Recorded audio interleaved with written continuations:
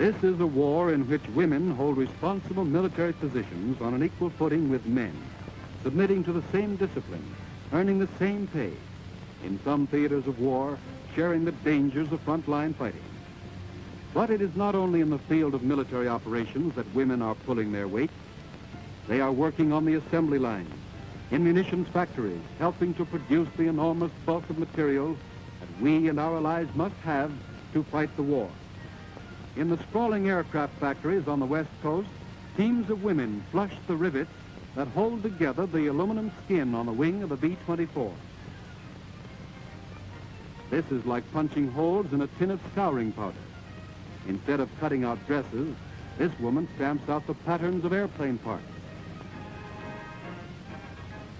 Hot plexiglass is lifted out of the processing vat and molded into shatterproof windows for fighter planes and bombers.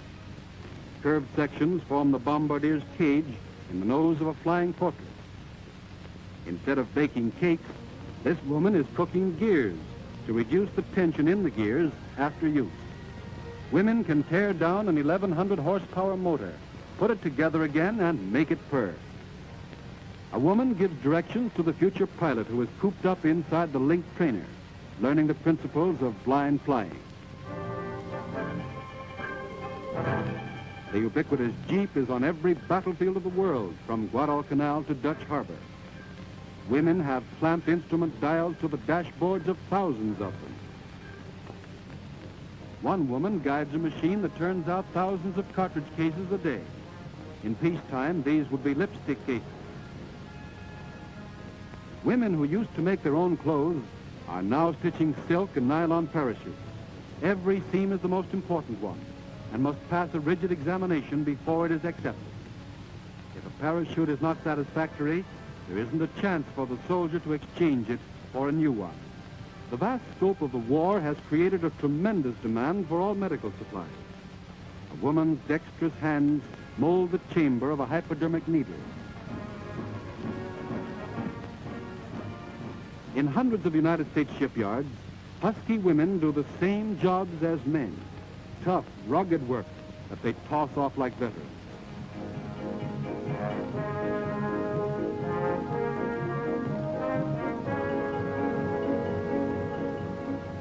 Here are some of the reasons why they're doing these jobs.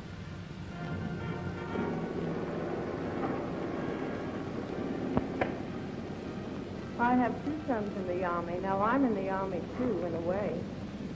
I wanted to bring my dad home sooner. He's in Greenland. Because my husband's in the Navy, and I want to do a job that means more than working in a department store. We do want women in department stores and other civilian jobs, but we need them in war plants, too. Women who have had no industrial experience are trained by the United States Employment Services or sent by them to factories that teach future workers. Individual consultation determines for what kind of work the applicant is best suited. Would you like to work in a factory? I don't know anything about machines. Can you drive a car? Ride a bicycle? Can you replace a burnt-out fuse? Oh, yes, I can do that. Then you can be trained for a job, and the training won't cost you a cent. With the strides that have been made in industrial methods, there is practically no limit to the types of work that women can do. In classrooms, they learn to be inspectors by studying with enlarged models of precision instruments. With the micrometer and the vernier gauge, they can measure accuracy to the one ten-thousandth of an inch.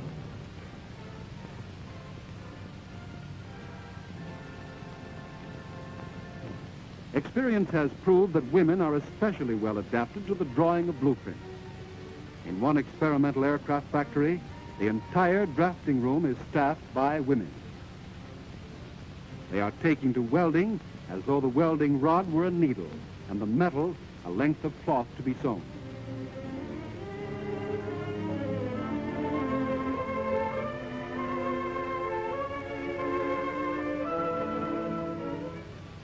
After a short apprenticeship, a woman can operate this drill press as easily as a juice extractor in her own kitchen.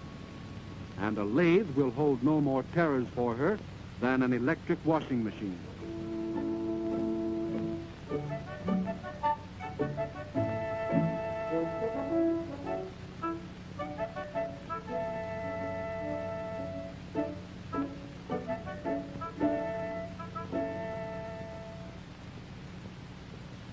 But it is not only heavy industry that needs women.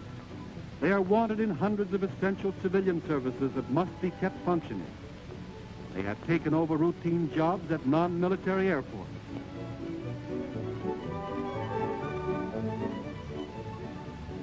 Railroads are carrying an unprecedented load of troops, war materials, and civilian traffic.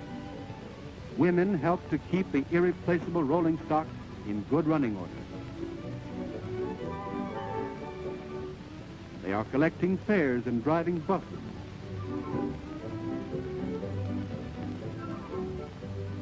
The messenger boys of today are girls. Office buildings are using girls to run the elevators. Many communities already have women on milk delivery routes. They handle man-sized tractors on the vast farms of the Middle West.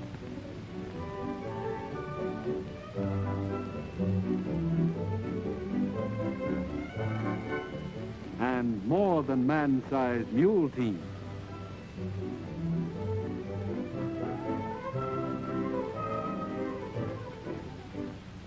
Now, some men are worried. My wife works, people think I can't support her. Oh, I don't mind my wife working, but who's going to run my home? It's okay now, but what about after the war? The women will have all the jobs. Some men asked these questions during the last war. This is what happened then. Women wanted to take an active part in the war as they do today. Nurses saw duty overseas at base hospitals. With the drawing off of so many men to the front came an inevitable labor shortage. The old prejudice against women in heavy industry was broken by the demand for more manpower. And women found work not only in nursing, but in factories, railroad yards, and on the farms. Yeomanettes were the vanguard of our wage. This old newsreel shows them being reviewed by the Secretary of the Navy, Josephus Daniels, and the Assistant Secretary, Franklin Delano Roosevelt. Those were the true glamour girls of the last war, remembered with affection and appreciation for the work they performed when the world then as now was in peril. Women are needed again. Before the end of the year, 2,400,000 more must be enrolled in war work, which means not only in the Army, the Navy, the Marines, but in the factories, on the farms, in various essential civilian occupations now filled by men who are being called to the colors. Every woman who can possibly help is wanted. Their country is calling them.